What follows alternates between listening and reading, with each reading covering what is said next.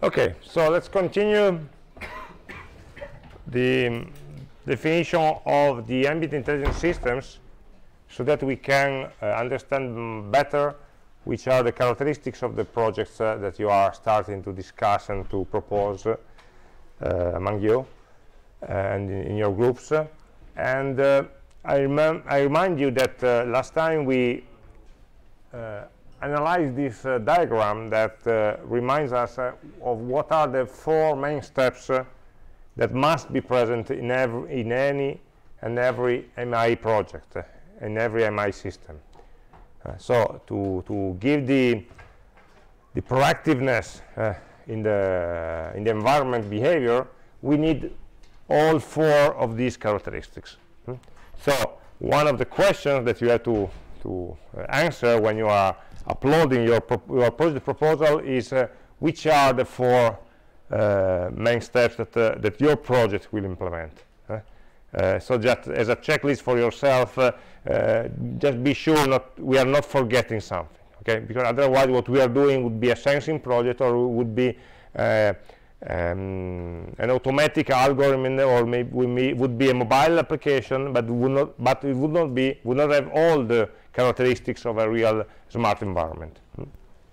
So these, uh, these four steps are mandatory okay we will not pass any project proposal that doesn't have some of these uh, or some action some feature some behavior in all of these uh, four steps additionally uh, in the literature there are there are different and also in the reading that, uh, that we had uh, about the intelligent environment manifesto there are different uh, many other features that characterize more or less uh, the specific uh, behavior, specific structure of an AmI system. And I try to synthesize all of this literature in this diagram with a list of six main features. Okay, These are not as mandatory are, are the as the four steps are. So these are just suggestions in a way of what uh, qualities we would like to insert uh, into our project. Some projects will have some of these uh, uh features more developed uh, and maybe other, other features totally neglected or very, very little developed. Or other projects would be more uh, so developed in another area or vice versa. So these are just the dimensions in which the project, depending on the kind of the project, may uh, be more or less, uh, say, important or more or less uh, um, developed in this sense. Okay. So what are these six features? So um, currently we are not asking you to identify these features in the, the deadline for next week.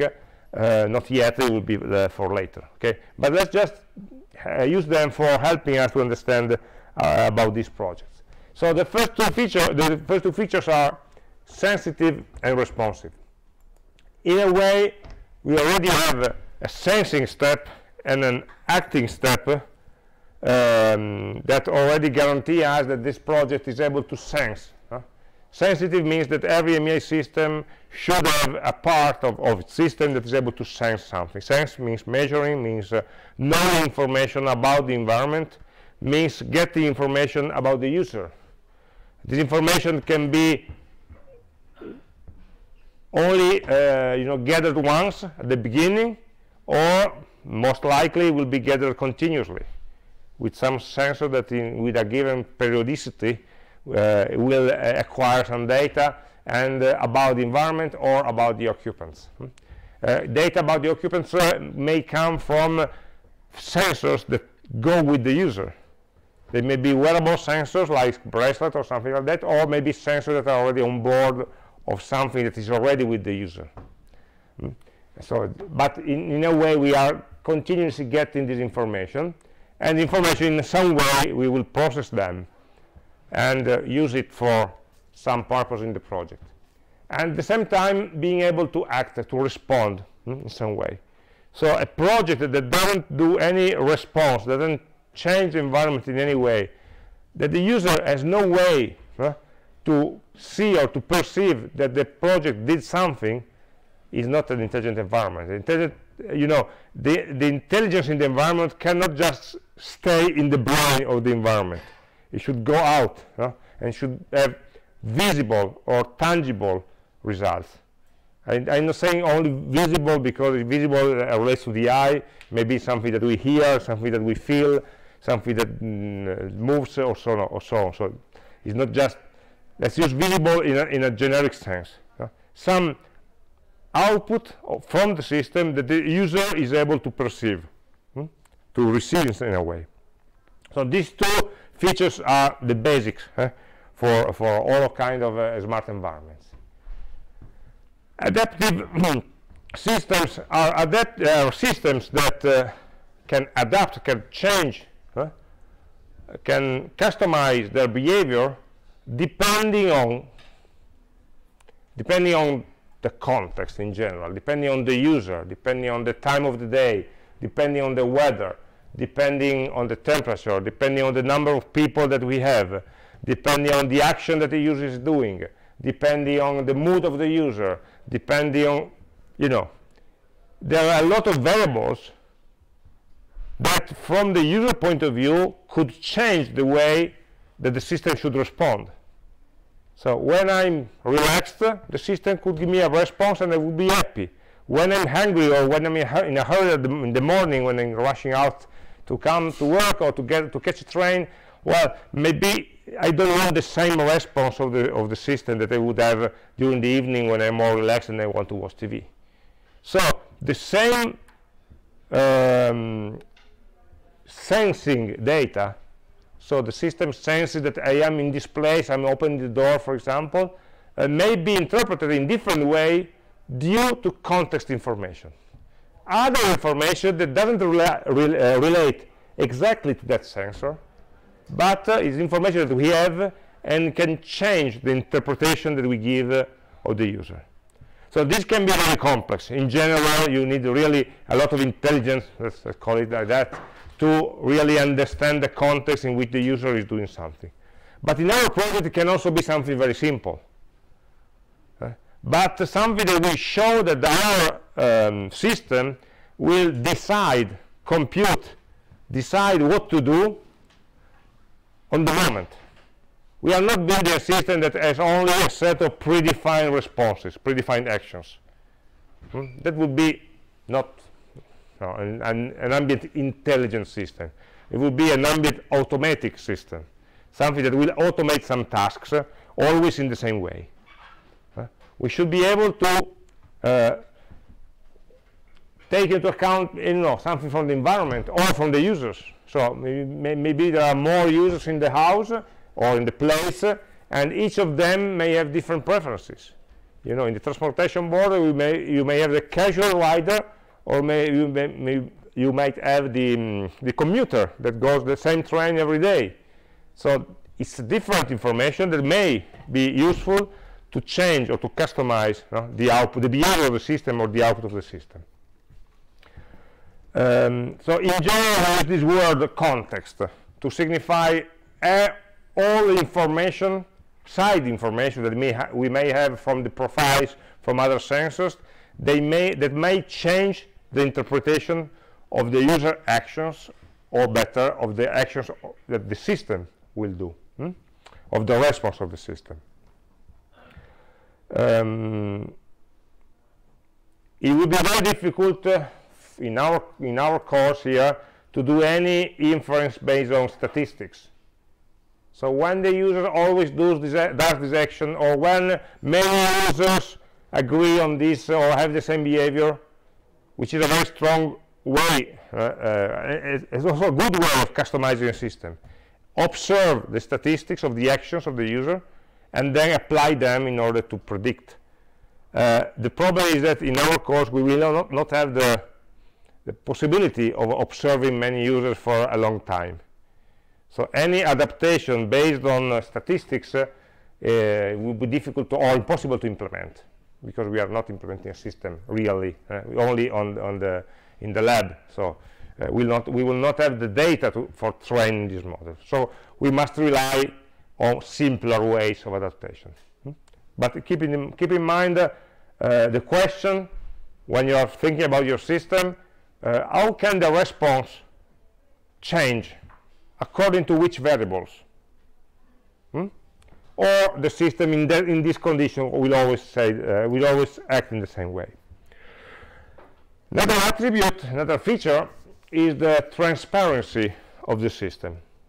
So people don't like computers. I mean real people, okay? Um, and don't see a value of, of having or seeing a computer in every corner of the house or in every corner of the place. Computers are something stupid, difficult to use, uh, uh, forces you a given interface and so on. So the idea is to try to hide the computers and make uh, the environment itself intelligent, the objects themselves intelligent. Hmm? So the, there is this, this movement of uh, disappearing computer. This uh, is a keyword that has been proposed in 1991, so it's a very long way, uh, where the idea is to the, make the technology disappear. So people just feel that, that something is more clever, more efficient, mm, faster, or more adaptive, but do, they don't see actually a computer doing the computation. Okay, the computer with all the blinking lights are only good for B-series science fi movies. But in the reality, you know, uh, people just want to get there and, I don't know, um, when you go into a bus and you have to beep your, uh, your ticket, there is a very visible and ugly computer requiring you a very uncomfortable action for going and beeping the, your, your ticket it's, it's not intelligent. You don't say it's smart. It would be smart if, if, it would recognize you as you climb on the, on, the, on the bus, for example. The computer would be there. The sensor would be there in a way, but you, you don't see them. So the bus is smart because it's able to read without you reaching out for a computer. Hmm? And um, so the idea is uh, not to add visible technology to the user, but to, but to make technology hidden and make objects uh, or environment or spaces, uh, turn them into interfaces for these computers, using the objects, letting the user interact with the objects and not with the technology. Hmm? Uh, you know, a good example of these are uh, cars, automobiles. When we drive them, uh, we, the car, the normal cars, have the same have, have had the same interface, the same user interface since uh, I don't know, probably 50 years or more. Uh, you have uh, a steering wheel, you have three pedals, you have a clutch, a gear, and that's it. The, in these 50 years, the, the cars have transformed totally under the hood. So right now, when you are pushing the brake pedal or you are pushing the, the, the gas pedal, what you are doing is not really uh, applying a force to the brake or opening a valve into your uh, engine. You are giving a signal to a computer that will compute the best thing to do. So you will have anti-brake system that will not apply the force that you want because uh, you don't want to block the wheels you have uh, uh, the, the injection control computer that will not apply all the gas that you are asking for, but only the right amount that will be combusted totally. So actually, we have a lot of intelligence in the cars, uh, and that people don't feel, don't see, don't need to be aware of that.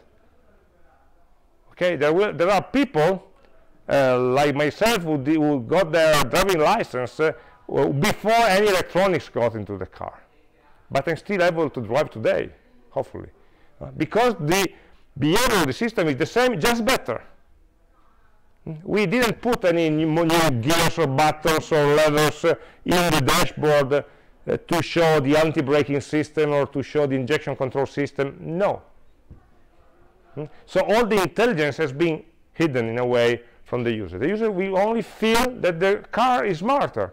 Oh, look, I broke, uh, I, hit the, I hit the brake in the on the on the ice uh, and the car didn't uh, didn't slid around uh, was able to with some strange noise probably from the brakes.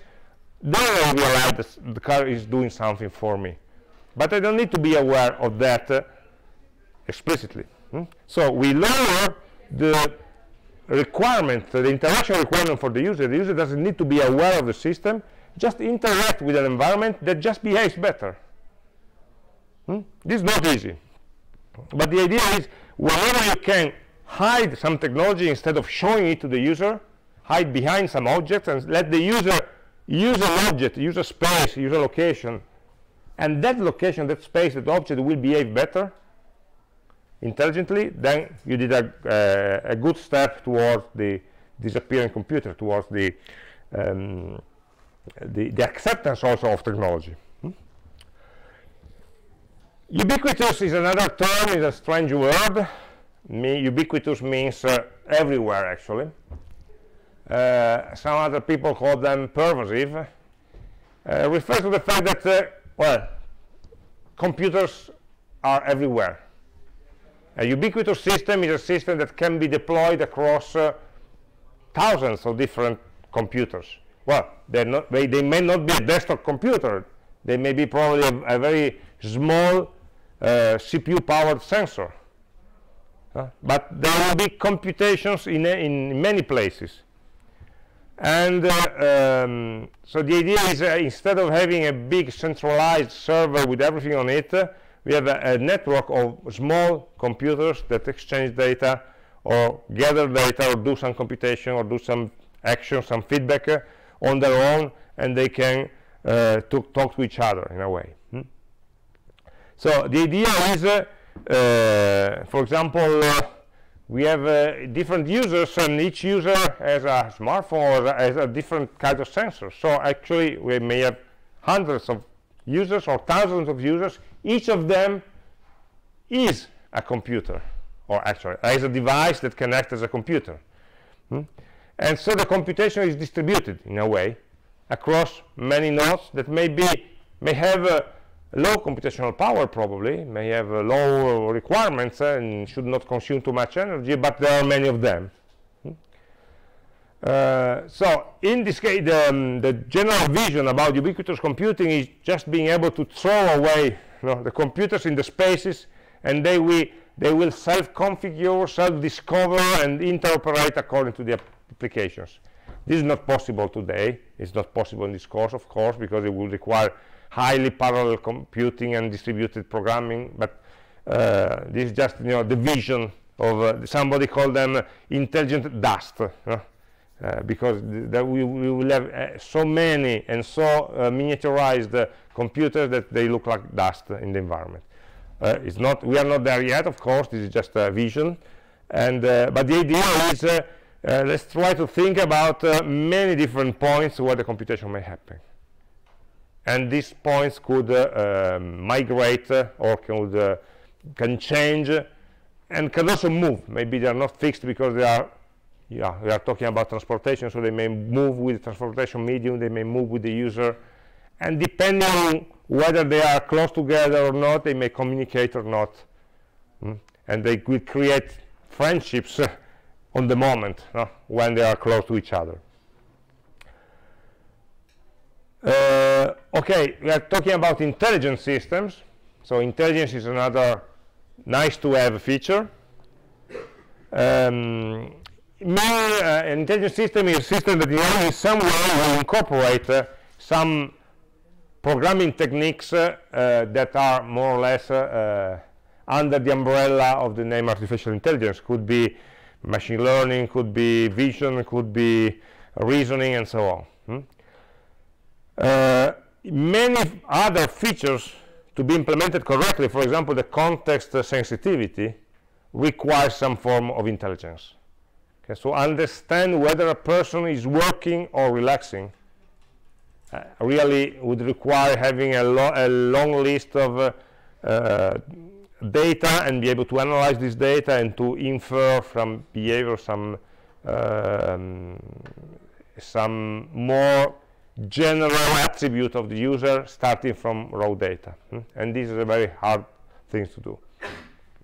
Actually, um, this the, is the most difficult part to implement uh, of the of the whole uh, set of features to implement in our projects because it would require at least being able to master these technologies in some way being able to use them and to incorporate them in a meaningful way into the system so uh, traditionally the projects that we had uh, have a very little or I say a very very basic intelligence okay?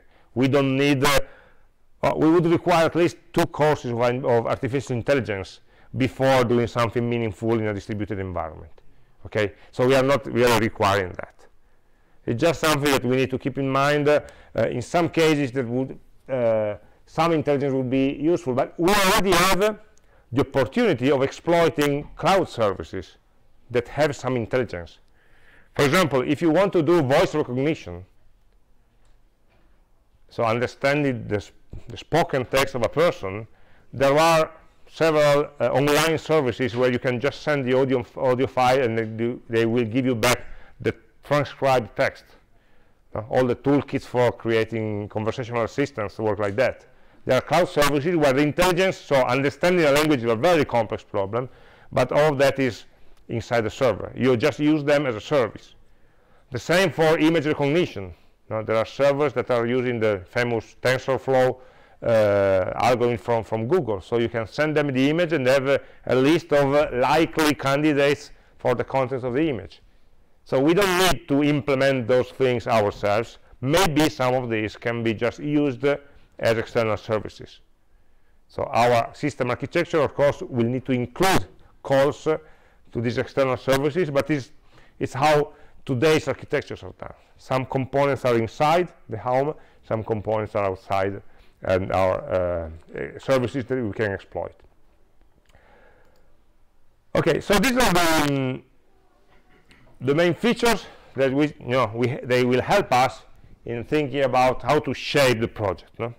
If we can do something that can improve some of these qualities, it's better than trying to work on other types of qualities that may not be so relevant uh, for the intelligence uh, of the of the environment. So these are just general um, thoughts. But we need to where's that? Okay here. Here. We need to translate that into the actual activities that we are going to do into this semester okay so we more or less understood the, the final goal we want an AmI system and an AmI system should have such and such characteristics. The four main steps uh, and the features that we saw around uh, those six, uh, uh six uh, um, circles. Uh, the next step, okay, to, to reach the goal, we must first define what the goal is. So decide the project and then decide the roadmap for reaching that. So this set a series of steps that will make the design process in our course. So design process is, uh, you know, you can you can check this uh, in your own time. Um, it's a, a, formalized method for um, being able to reach a result uh, with a given number or, uh, of known number of steps. Uh, the definition for Wikipedia of a design process is uh, the formulation of a plan to help an engineer build a product with a specified performance goal. Okay, I try to adapt this definition to our case. So the engineering design process is the formulation of a plan. So actually, we are today we are sharing a plan. How to get to the goal. Okay? To help a team, not just an engineering, but a team, we are, we are working in teams, in groups, uh, to build a product, not a product, a system in our case, in it's an AmI system, with specified performance and functionality goals we'll be more interested in functionality than in performance. If the system is not very, very well performant, it's a bit slow, well, we don't care, okay, it's just a prototype. But we are more interested in the functionality of the system. So this is what we are trying to do. Find a plan, share a plan, construct a plan that we can all uh, use to move forward toward the goal. And uh, um, we try to define, describe one, one possible plan, because there are many development processes, one possible plan that will apply to the type of projects that we are developing here.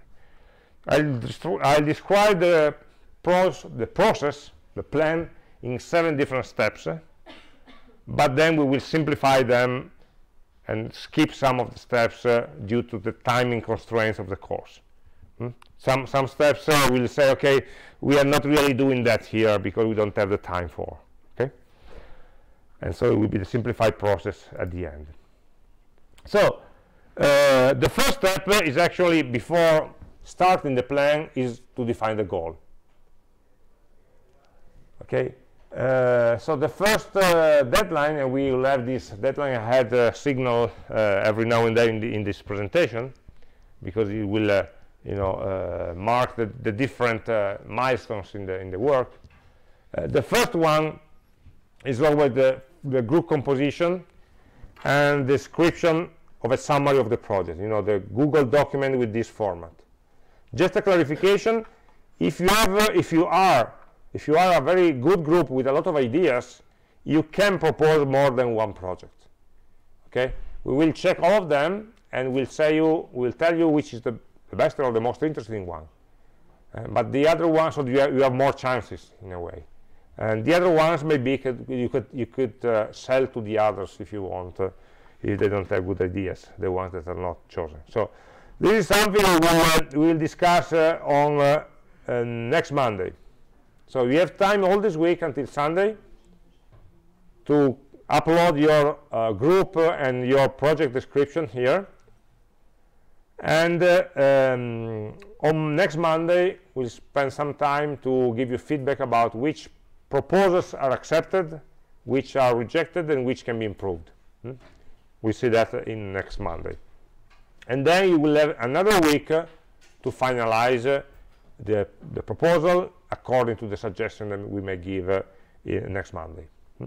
So that uh, at the end of March, uh, hopefully all of you have a, have a, good project defined and accepted to work on. Hmm? Um, the most important part, of course, is this, the 5 to 10 line describing the project from the user point of view It's the goal that we want to reach. So what's actually the ambient intelligence system that we want to build? How does it solve the AmI in transportation, in mobility, for mobility topic, uh, in, a, in which specific way, which are the four steps. We don't ask them, we don't ask you to write the four steps, sensing, acting, uh, reasoning, and interacting here, not yet. They will be in the next deadline. Uh, so we want to go stepwise. First, validate the idea and then try to structure it in a, in a, in a good way. But of course, in your mind, you should already think about that. Hmm? So this is the first step. And then this is the final goal, how to reach it. So uh, maybe you have already seen this picture. Hmm? Uh, no, uh, it's uh, not, not, all of you, but it's very common this picture that has some variation, some different. But the, the idea of this picture is to show the different ways uh, a project can be understood. No? So actually, really, the project is a swing. Swing for a baby. And uh, the swing is uh, how the customer explained it, and how the project leader understood it, how the analyst designed it, how the programmer wrote it, how the business consultant uh, described it, very shiny and very comfortable, and this is very sad, uh, but it's very real, how the project was documented, uh, what is being installed by the operations team, how the customers would build, hmm? how it was supported, and that's another, and what the customer really needed. And we can go on, there are many variants of this picture around. What's the message here? There are two messages. Everyone in a project team understands differently the same object. So if you think you agree on what you are going to build, then realize that you are not agreeing. Each of you has a different idea, has a different point of view. Until or unless you write it down and you try to explain it to another person, you will not discover that you are that you have different ideas, probably. And some of you consider something more important than somebody else, and so on. So I see, I see that too many times.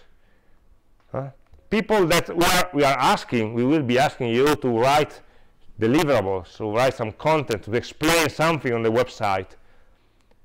And people told just, wrote just very, very short and very synthetic descriptions, say, but we understand, we know what, uh, what we want to build. I see that fa failing very, very often, because actually, when asked, uh, there was probably one person that uh, imagined they had the project in mind, but you know what is in, in my mind is not shared with the group.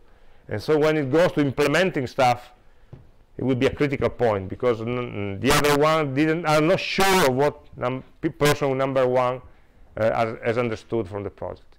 So try always to spend. It's, it's important. We we have to spend time in discussing and documenting what we want to do. Otherwise, we end up with something that is really different uh, from what uh, we wanted. And the second message here is that the customer, what the customer really needed is different from what the customer explained in the first frame.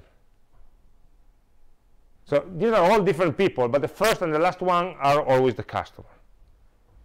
So how, what I need and what I will be able to explain you about what I need are different. The customer doesn't have the technical knowledge, doesn't have the terminology, doesn't have the uh, understanding of the, of the capability of the technology to be able to express what they want. They will try to approximate what they want in their own language, in their own understanding. But it will be a very uh, imprecise description. You cannot rely on that. You can't rely on that. You must make an, an extra effort to understand what they really need, not what they are telling you to they need. Hmm? I make you a very short, uh, a very simple example. Uh, once I, I was um, discussing with some energy manager for a building.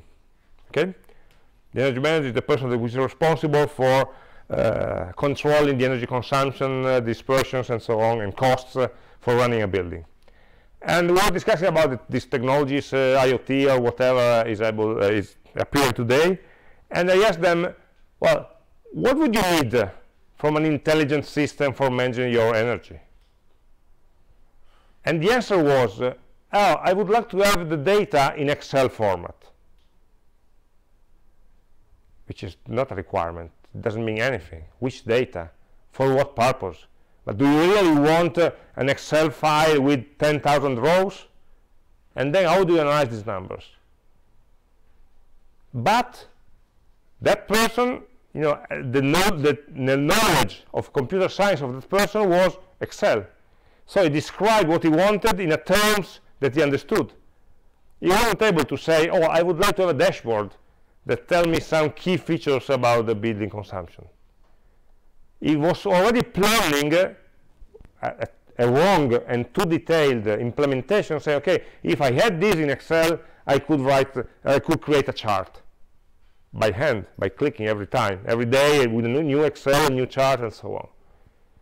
So we people, the users, cannot explain to us what is the technology that we should build for them we should not listen to users when they talk about technology. That's why it's also important. We, we also don't speak about the technology at the beginning. We should understand the needs, not the system, not the devices, not the interface, not the action. What needs do you have? I need to see this and that information. Okay, I'll take care of it. You don't need to think about the tools or the format or the files. I understood what you really want. So this is the most important step. Understanding what the users want and then being sure that all the developers understand the same things. Hmm? And this requires time, requires discussions, requires writing down documents and so on. And it requires a process. A process may help us uh, in governing uh, all this mess that is hinted by this picture. Um, there is not one single process. Today, a lot of uh, development uh, uh, teams uh, are more suitable for an agile process where you do a lot of uh, iteration of a project. But agile development would require that you already have the skills for the first prototype at the beginning. And in this case, we are building the skills as we are going, while we are progressing with the, with the project. So yeah, it's not really applicable here. We, we will use a more traditional approach where in the first, uh, while we are building the basic skills in some Python and web and database and so on technologies, in parallel we are thinking about or designing the, mm, the features of the system. And later on we'll start implementing. Hmm? So it's a process that should be uh, suitable for this course from the initial idea that we will decide on Monday.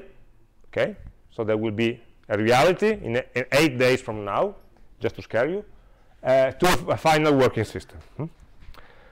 Uh, any process, of course, has some assumptions, and the assumption that we, we make here is uh, the, the approach we try to follow is technology neutral. What does it mean? That it doesn't use technology? No, we will use some technology, but the choice of the technology will not be the first one, will be the last one. First, what we want to do. Then later, after we already decided and fixed and reasoned about what we want to do, then we'll choose the technologies. Which is much different, uh, like uh, you know, we're working at the system level, like uh, system integrators. We see what's there and we put it together to build our system. It's different from what uh, many companies are doing because many companies tend to specialize on a technology brand so maybe I have this company, very good, that is uh, Microsoft certified. So for them, all the solutions will be Microsoft solutions. Some uh, uh, company that maybe uh, is very, uh, had invested a lot on the LoRa. Hmm? LoRa is a wireless um, communication protocol. Don't ask me anything more about that because I won't be able to answer. I don't know anything. But there are companies that are specializing on that protocol. And so for them, any project will necessarily have that protocol, whether it's useful or not. There's, there are, in many companies, the focus is we are good on a specific part, protocol, a device, a language, a, structure, a library, uh, I don't know, whatever. And so we try to build and sell product based on our core knowledge, which is perfectly fine. Okay, That would be a technology-driven process. How can I exploit my technology knowledge into some project? Perfectly fine. This is what we want, okay? It's not a course on databases where everything should be focused on the database.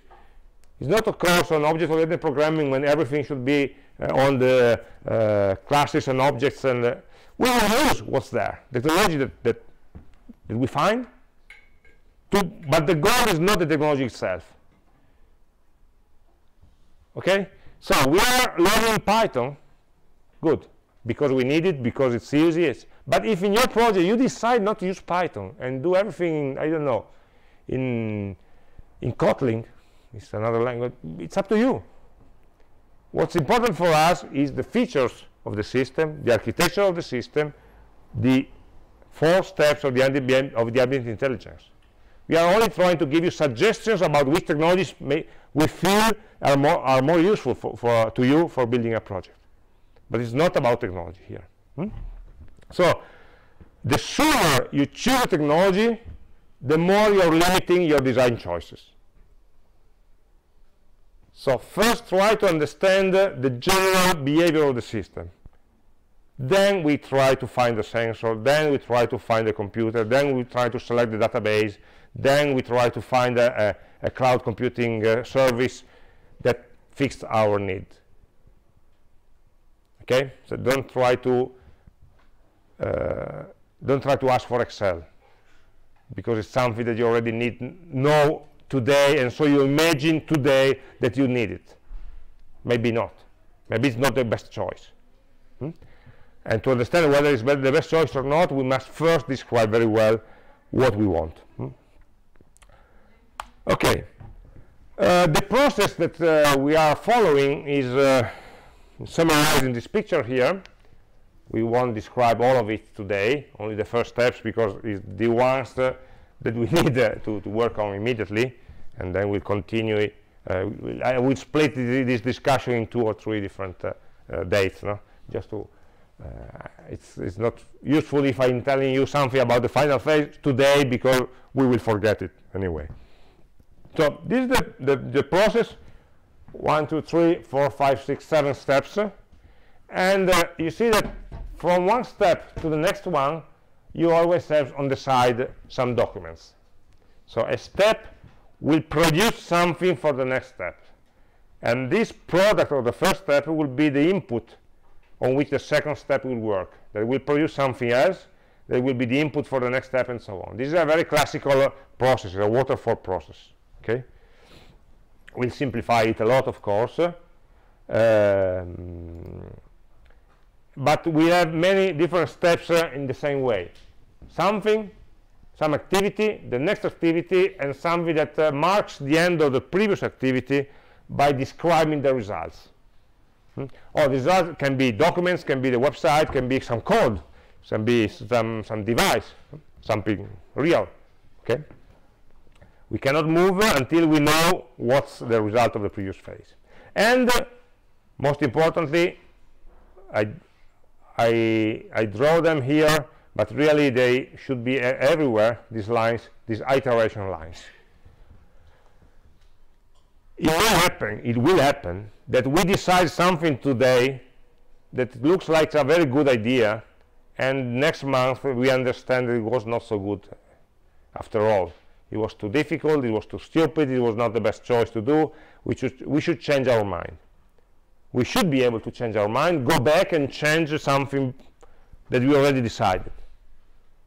So you are writing something about your project, uh, you are writing some deliverables, and then if, if you go and you find that actually the choices you made are not so good, uh, then you can you are free to go back and change them, as long as, of course, the characteristics of the project don't change. They are still AmI systems. Hmm? But especially in the details, uh, we are never never able to do the right choice first. Hmm? Okay, uh, so the process is split into well, there are seven seven steps, but we split them into three big blocks. The first box uh, is the idea, is the phase we are now, from now until the 24th of March. Then the specification phase, where we refine the idea and try to understand how a system can be constructed to implement that idea. And finally, the development phase, where we actually are writing code, implementing stuff, connecting devices, and so on. Okay? The specification phase is important. You should not cut it out. You should not start jump directly to development uh, because uh, it's not uh, a single program running on a single device. That maybe you have everything in your mind uh, and you can start writing. It's a distributed system and it's important to understand the different pieces, what they do, what data they exchange, how they synchronize, and so we really need some time specification time to understand that. And at the end have a good, this, uh, good description of how the system look like and what are its components. And if, I, if we are mapping that into um, some dates we have uh, the 1703 for the title and goal of the project is the idea and then we have time until uh, the deadline for deliverable number one, which is the first website uh, with a description, with one page description. So most setting out the website, but fixing the idea of the vision of your project is not already a description, uh, a detailed description is just a vision of what the system will do uh, by the end of March. Hmm?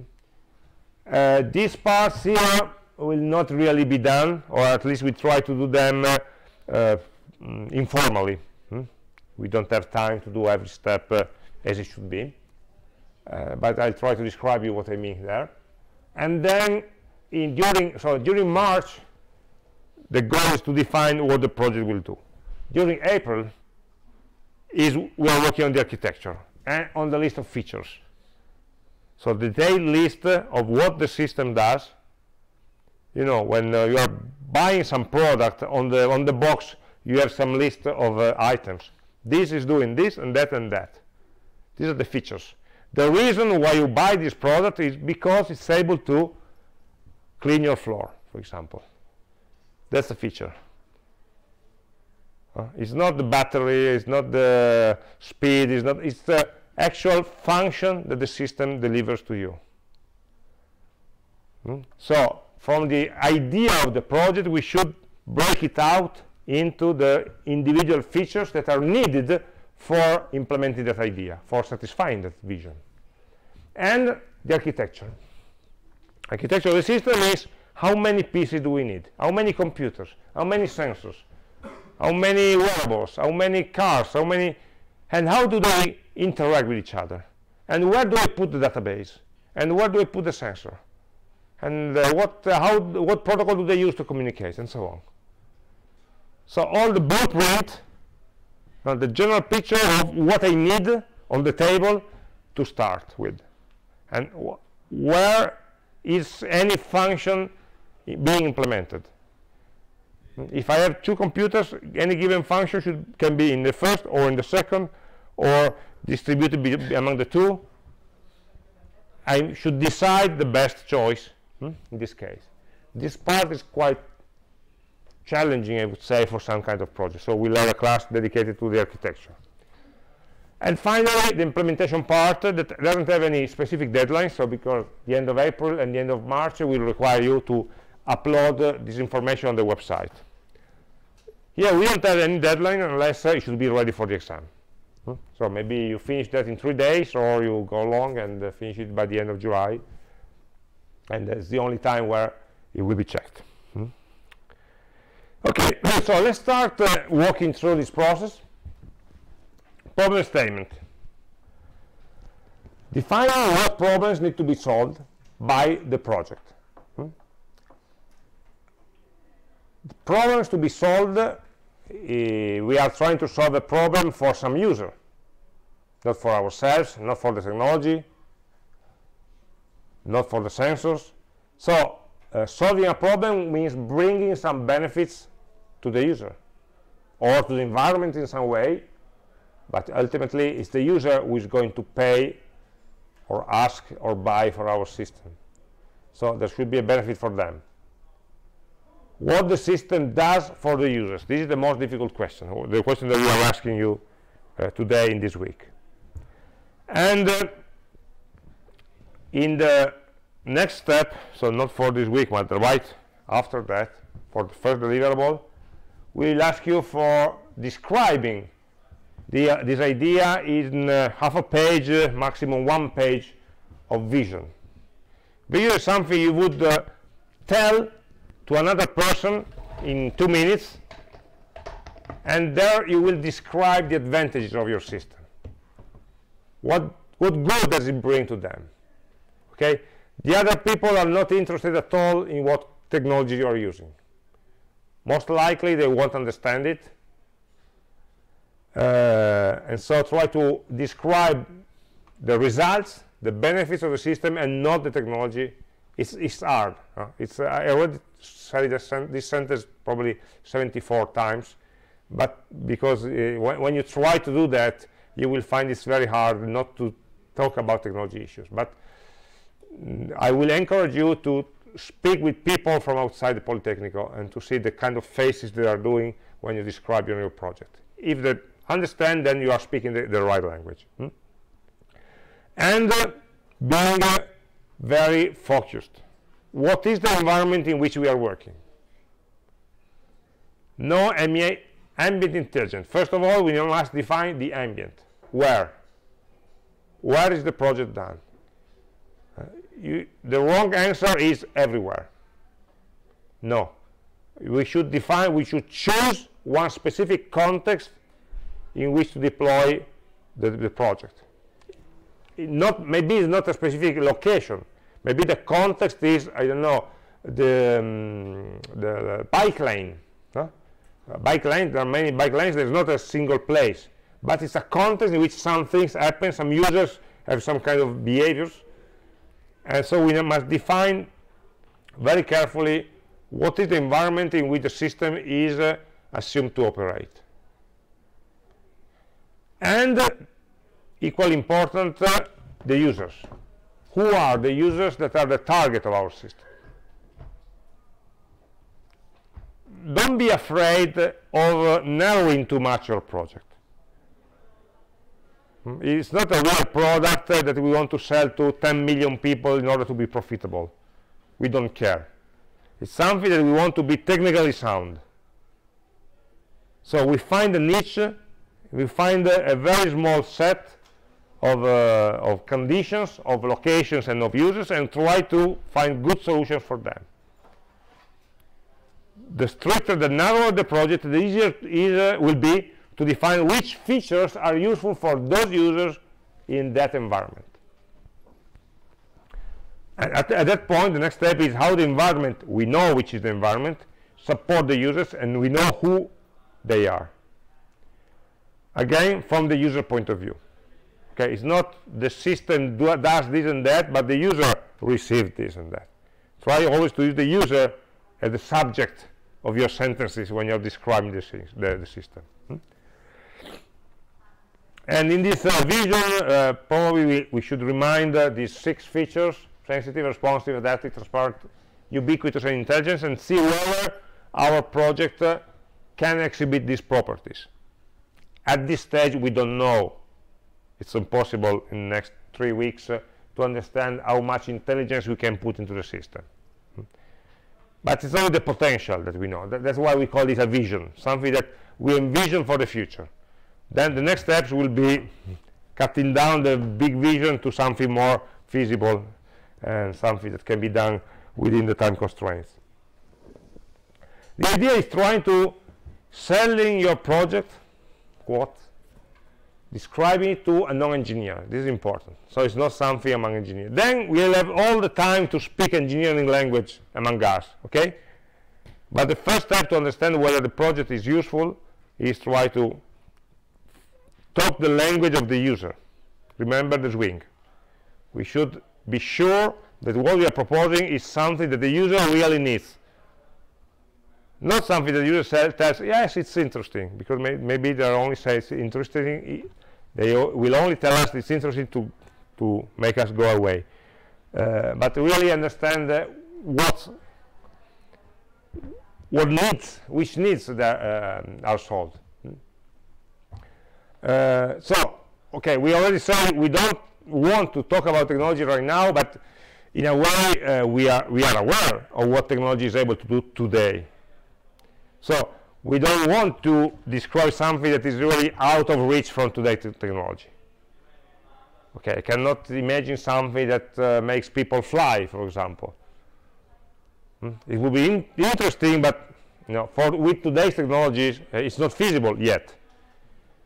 So, of course, we right now we don't enter into the details of the technology but we ensure that it would be later possible to do that okay we can of course we are still in a university so we can stretch the reality a bit but not too much we can do something very simple that can imagine or we can imagine we can project it into something that, that maybe in the future would be possible okay we are proposing something new. We are not just replicating something that, that's already existing, but not too much. You know, feasibility is something that should, that should be in the back of our minds uh, since the beginning.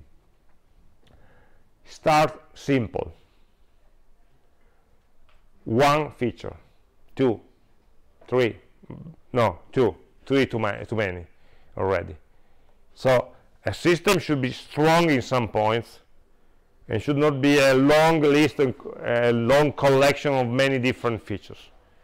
It would be dispersive. It would be impossible to implement. Uh, you cannot implement 100 different features in three months.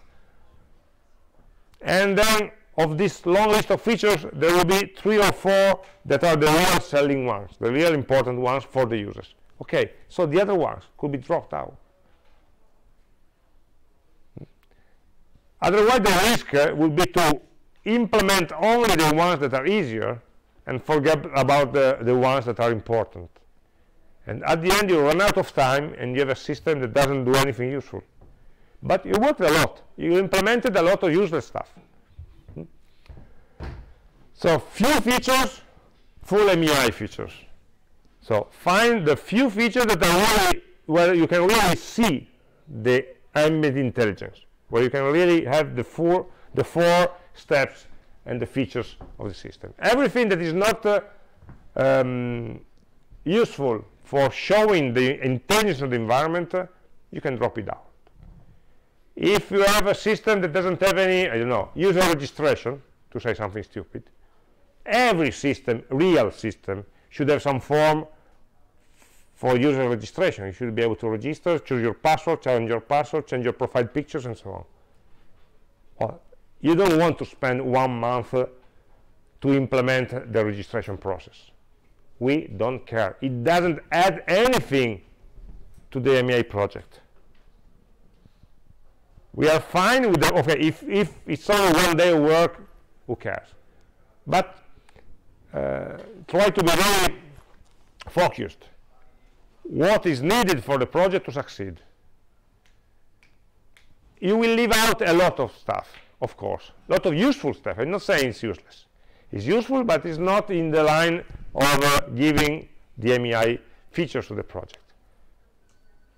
And so you will leave it out for the next, for a possible future iteration, for a future version of the project. We don't care. We care that the main features are implemented correctly. Not that you have 27 different features, but then at the end, uh, the real interaction with the user is missing. Hmm? Um, so if you, it's better to have a, a small and strong idea than a, than a long list of uh, weak ideas. Hmm? Trivial, but uh, true. Uh, try to tell a story. Describe why users should be happy to use your system not describing it feature by feature, but describing by telling what the user does. The user goes into that environment, enters this, does this action, and then feels, uh, sees something. Hmm? Always talk about the user in this case. And uh, the second column is even more important. In this room, we are the 70 most intelligent people in the planet. No, probably not. So uh, it's likely that the, our idea is not the first time it came up onto planet Earth. Okay, some other people might have had uh, a similar idea, a better idea. Okay, let's not ignore them. If you have a good idea, try to search for it. Now, we are using Google for everything except for school. I don't know why. Uh, try to say, okay, this is something I would love to I would love to have. Let's try to buy it, for example, in simulation. And let's look whether somebody is selling or, or building a system like that. And have a look at what they've done, what features they have. Do you like them? Are yours better? Can you improve yours by copying what the others did? Uh, this is important we don't care if you replicate something that is already existing okay it's not a problem it's not a requirement for the course but it's better if you implement something and you don't know what other similar stuff exists? Because uh, copying or seeing what the others did is a way to shorten your development cycle. You don't have to spend the time to do all the mistakes or all the reasonings that the other did and all the mistakes and all the reasonings are in embedded into other people's product. And when you see somebody else's product and you see this sucks i don't like it then it's a lesson for yours. You don't want yours to make the same impression. And why did it, did it make that wrong impression hmm? and that's a question that we ask ourselves so it's very important to compare our idea which is the best of the world with other ideas that they are convinced they are the best of the world. Hmm? and the same goes for involving users no i already told you once you have an idea try to speak with somebody from outside this room from outside the university but it's not enough to describe your idea it's more important to listen to their answer I see a lot of people describing the project in a, they were so convinced about their project that they were trying to to impose it, to force it, to say, okay, but this is really good. And if the other person said, but I, do, I wouldn't care. No, you should care because, okay, uh, because this and that and that. Because you know, if you get too much in love with your idea, it's very difficult to understand the criticisms and it, therefore it will be very difficult to implement something that is useful for the others, not for you. Hmm? So it's very important to listen to others. Maybe also to us when we give you feedback. Hmm? But we are minor. More, more important, the potential users. Hmm? And this, this is a strange sentence. I will maybe try to explain it better next time. But uh, usually users know better about what they want okay what they need who am I to tell you what you need you know what you need I should be able to understand what you need to dig into your mind and say okay this person really in this context needs this this and so I, I need to extract from the users what are some needs for which we can work. We can propose a system to solve those needs. So maybe we ask them. So they know better about, about themselves, except when they don't. What does it mean? If I'm asking a user about something he doesn't have any experience with, they cannot give us uh, any meaningful answer. Or do you think that in a flying system uh, it's better to have uh, um, you know, altitude control or uh, rotational control? Nobody will be able to answer because they never experienced a flying system. So we, but maybe in this case we are the engineers, we see something that they don't see. We see some opportunities. So what we can get from the users is understanding their needs, and these needs are grounded in their experience. So we can start from the needs of the user, from their experience, and we can add something with new technical capabilities that our users are not aware of. And so on that path of what you want new, what's uh, new behavior you want, they will not be able to answer because a user only has experience of what you already tried. Hmm? It doesn't have the capability of understanding how it could be. You understand how, how it is, how it feels today. Hmm? So I try to describe them, a new scenario, I try to check their reactions, but not extracting uh, hard information will be impossible. Hmm? So it's a, it's a difficult job, of course, to get all this information. So all of this should be done by uh, the end of March.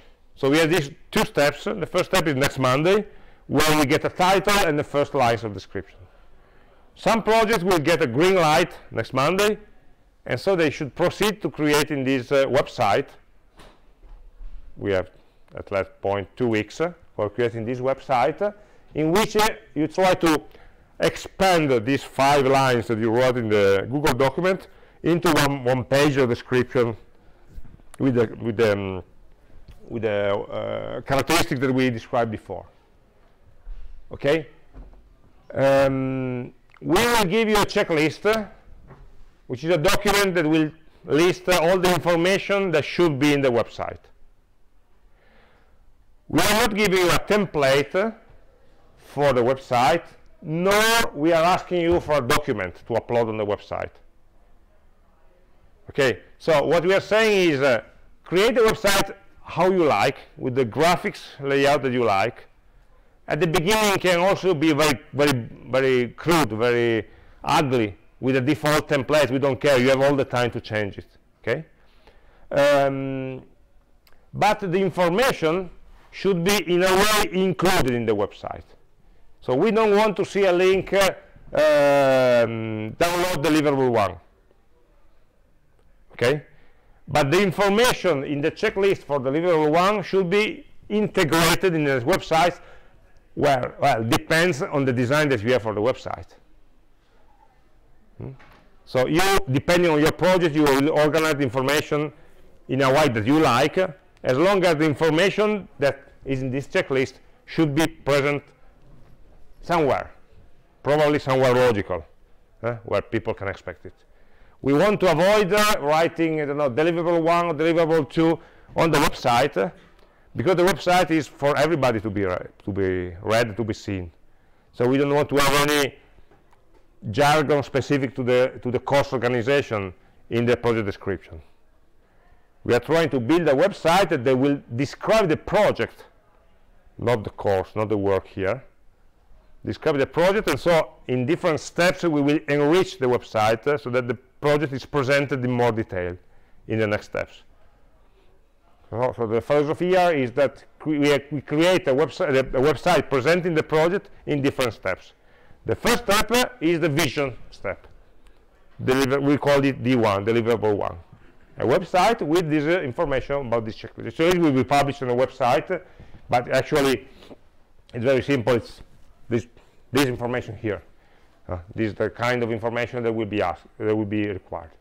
So for those uh, whose project will be accepted on Monday, you have these two weeks uh, to create a website uh, where on the GitHub page that will be created uh, from the information that you give in the, the, Google document. That's why we need to have in the Google Doc, where was that?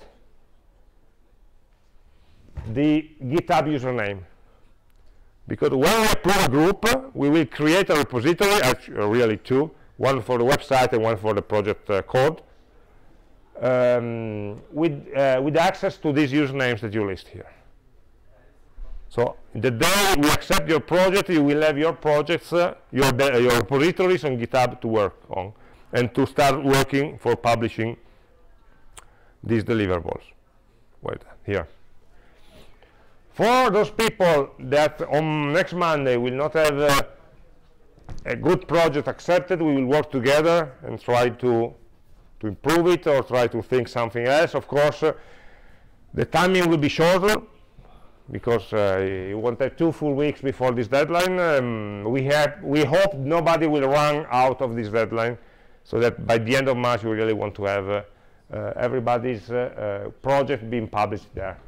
And, the and this is again a Sunday, and next and then next Monday on the 1st of April, is the 1st of April, we'll uh, give you some feedback.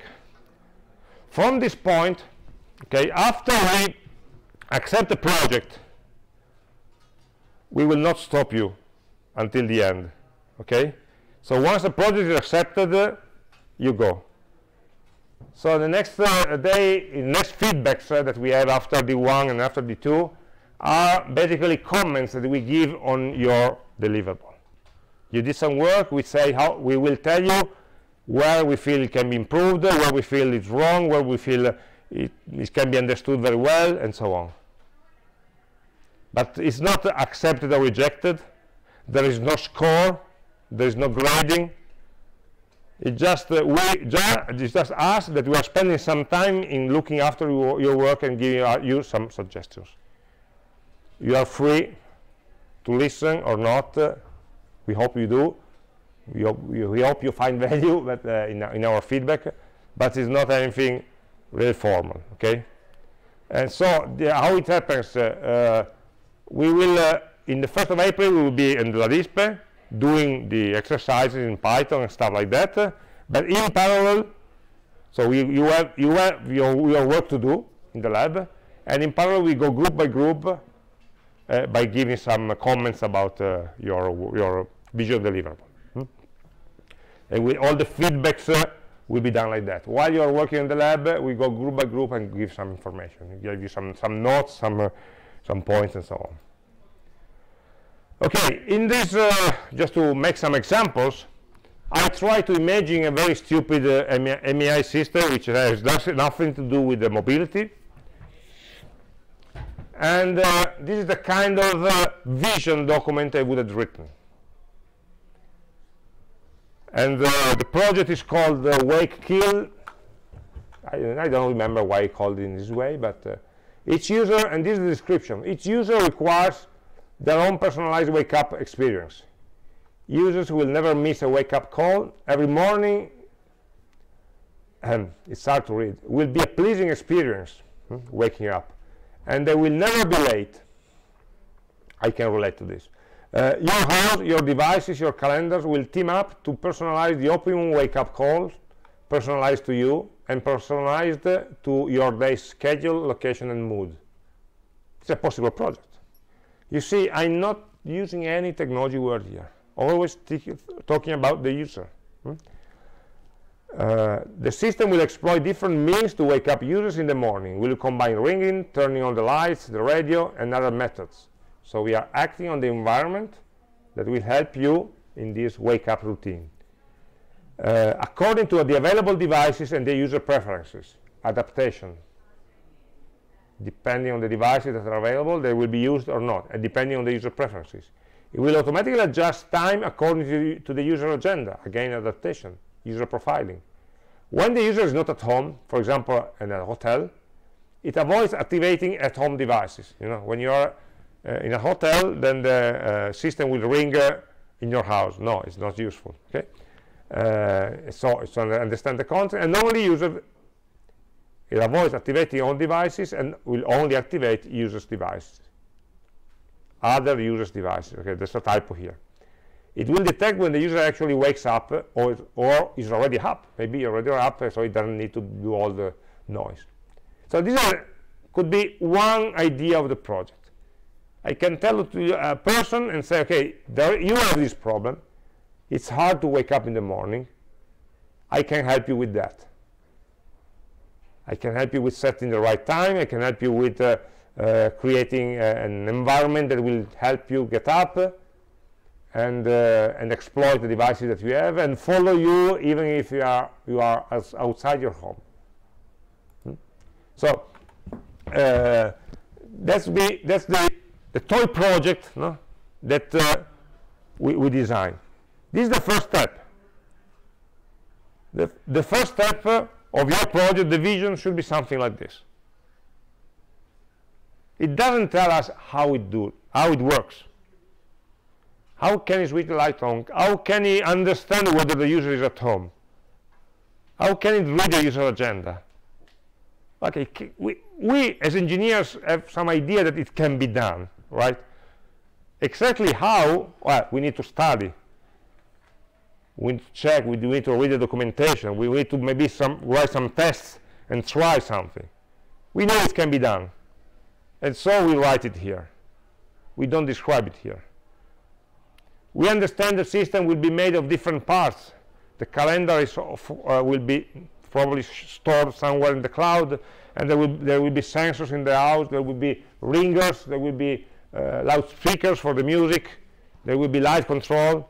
So we already understand that we need to install something in the house, and there will be many different devices. It's something for later. The user is not, when you say to the user that you are controlling the lights, that's all they need to know. They don't need to know that, oh, you need to change the light bulbs and then you need to put, no, I, at, that, at this stage, it's not important. What is the feature that they deliver? What is the behavior that I'm helping you with? Hmm?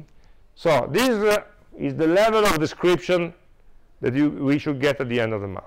And Writing it down will also help you, the four of you in your group, to understand each other. Every word here is important because after, well, after when you will have different ideas, you will go back and read, okay, but is, actually, is this actually needed for this vision, for this scenario?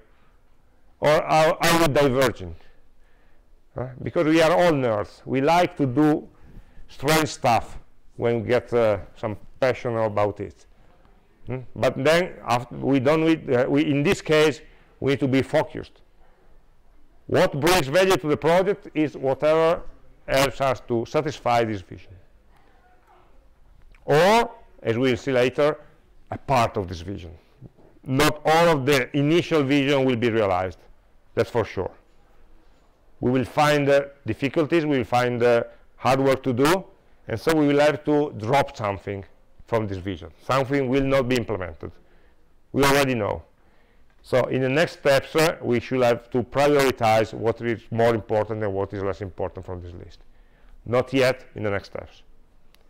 Okay, for today it's enough. Uh, it's what uh, you need to know to work uh, if in this week and in next week. I remind you that uh, you have to walk to the LADISPE lab, so you can get some air during the break, and uh, to have some the first lab in Python.